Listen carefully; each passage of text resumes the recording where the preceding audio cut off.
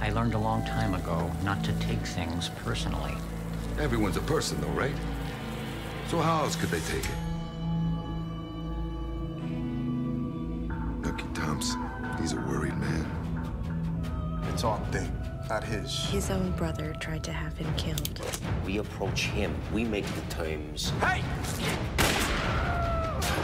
Start showing me a return on my investment. I think we're gonna stick around a while.